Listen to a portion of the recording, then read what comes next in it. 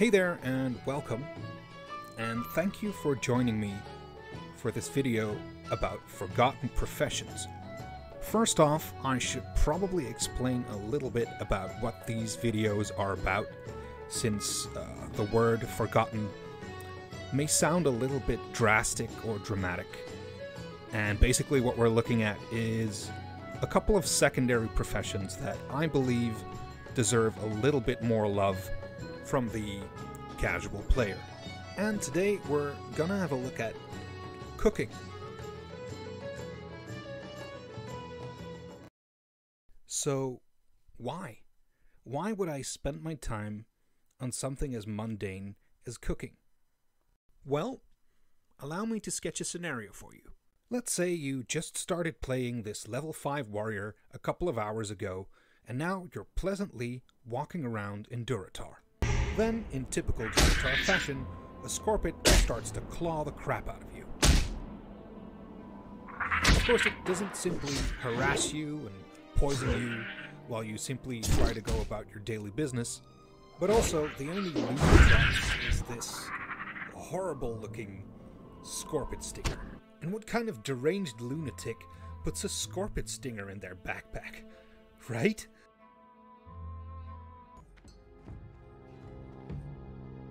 Well, from now on, with cooking, you do. Because there's a recipe for it.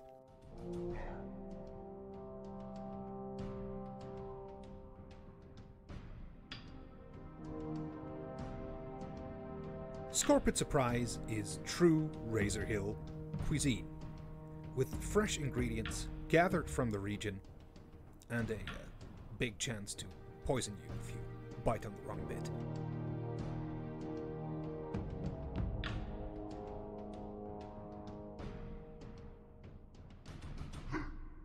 So, are orcs and trolls the only ones who can get a sort of early game regional recipe?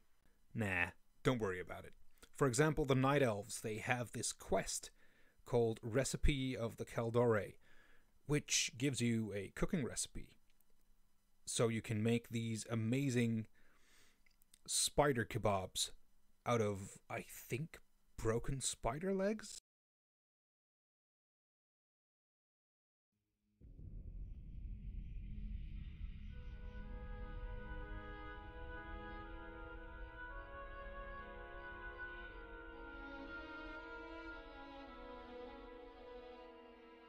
And just like this recipe here at this vendor in Bloodhoof, you can pretty much find different regional recipes for uh, different starting areas anywhere.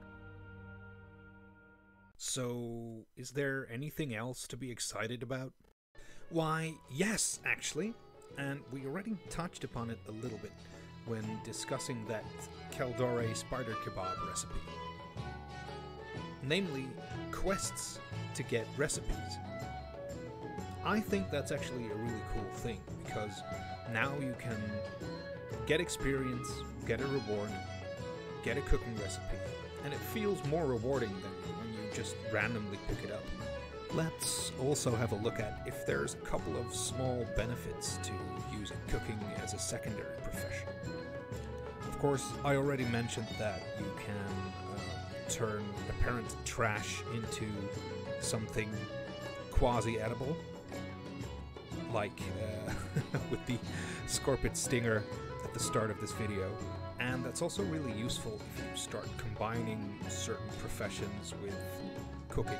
So, for example, you pick skinning, you pick leatherworking, you pick cooking, and then as you walk around and you farm up on animals to get your skinning and your leatherworking leveled, you also get to level up your cooking.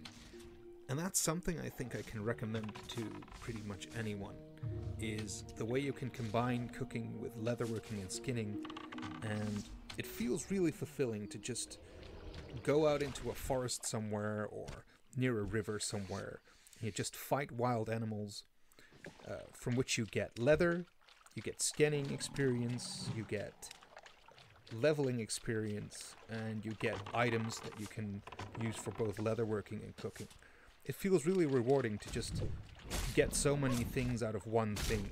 Add to that the um, really relaxing World of Warcraft background music and the sounds from the birds and the whistling wind, and you have this really relaxing magical experience just by doing a couple of professions.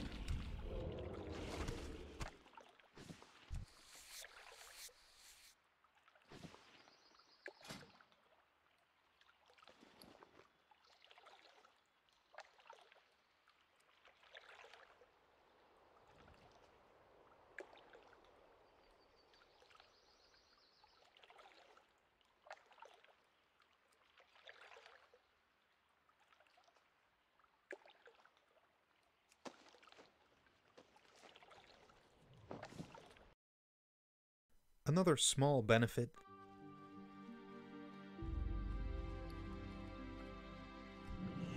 raising the happiness of your pet. And maybe some of you are thinking, well, I'm not a hunter. I don't have pets, so what's the use? Well, don't just take my pet's word for it. Just look at how happy my character looks after he munches down a steak. And of course, I know it's a minor buff, but well fed can still get you a little bit extra stats, which I think is nice. Especially if, like me, you like to create new characters and do some solo play, and you find out that you might want to have them have some survivability. So maybe some extra healing from first aid or from alchemy, maybe some healing in between fights from food. And so all small little buffs help, in my opinion couple cool more things to mention about cooking before I go. Once you're ready to start your artisan cooking, there will be another specialized cooking quest, which I personally think is really cool. I won't spoil anything just yet, but just trust me when I say you'll have a blast doing all kinds of chores for this goblin right here. Secondly, you can combine your cooking with fishing to make your experience even more relaxing. And lastly, if you ever feel like you're lacking any cooking recipes on the Alliance side, go to Stormwind to the Pig and Whistle Inn and find this guy named Kendor. I mean, he's like World of Warcraft 24 Kitchen. Right. Well, that's it for me for now. Thank you for watching. Leave a like if you enjoyed this, and I hope you'll consider giving cooking a try sometime.